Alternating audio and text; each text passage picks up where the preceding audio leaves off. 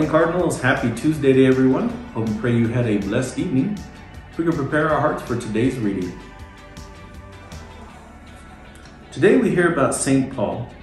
Paul was originally named Saul, and originally St. Uh, Saul participated in imprisoning many of the early Christians in Jerusalem for their beliefs. In the name of the Father, and of the Son, and of the Holy Spirit, amen.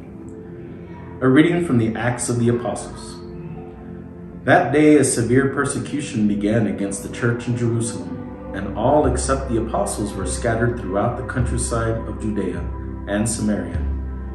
Devout men buried Stephen and made loud lamentation over him. But Saul was ravaging the church by entering house after house, dragging off both men and women. he committed them to prison. Now those who were scattered went from place to place proclaiming the word.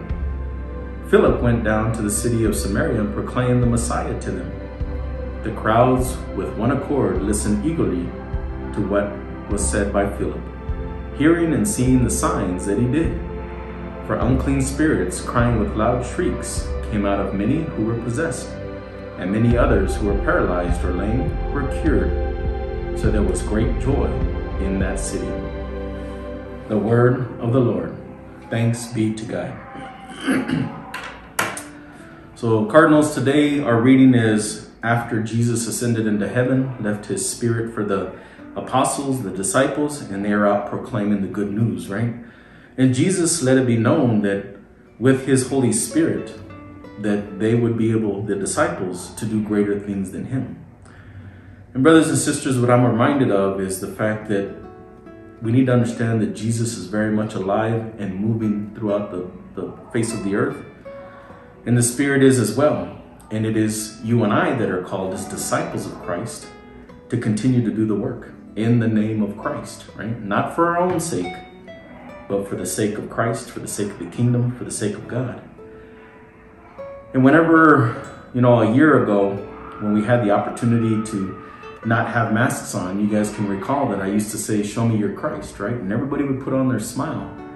But, brothers and sisters, one of the things that's very obvious is that I was I'm able to see Christ in all. And putting on a smile is doing Christ work. And even though we have our masks on, we can still continue to do Christ's work. And how do we do that, brothers and sisters? Just like the apostles, we extend peace, we extend joy, we extend kindness, we extend mercy, we extend all the things of God in Christ and give it to God's people. That's how Christ is at work. That's how Christ continues to move uh, here on earth is through us. So let us, Cardinals, choose today, take a moment to commit ourselves back to Christ and to commit ourselves to proclaiming the gospel. And one of my favorite things is, you know, one of our popes can't remember if it was Benedict or if it's our current Pope Francis. It says, preach the gospel at all times and when necessary, use words. What does that mean, Cardinals? That our actions should speak louder than our actual words, but nonetheless, how we treat others and how we talk to others and how we serve others is a reflection of how we promote the gospel, how we spread love, and how we continue to allow Christ to move through you and I to be able to touch people's lives. So I pray that we commit ourselves today, Cardinals, each and every single day today to ask the question, are we going to be a blessing? And yes, right? The hope is, is how much of a blessing are we going to be to our brothers and sisters in Christ?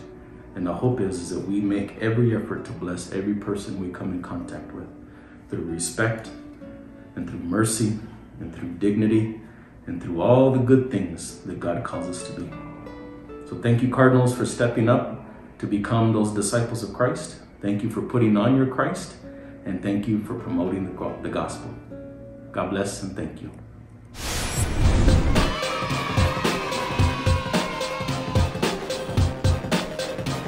A good Catholic student prays daily, knows and understands our faith demonstrates a spirit of service. A lifelong learner thinks critically, develops skills and knowledge, and participates in the arts. A person of good moral character accepts accountability for their actions, respects school, peers, and adults, and acts as a good steward of the earth. You could please take a moment now to stand and face the flag.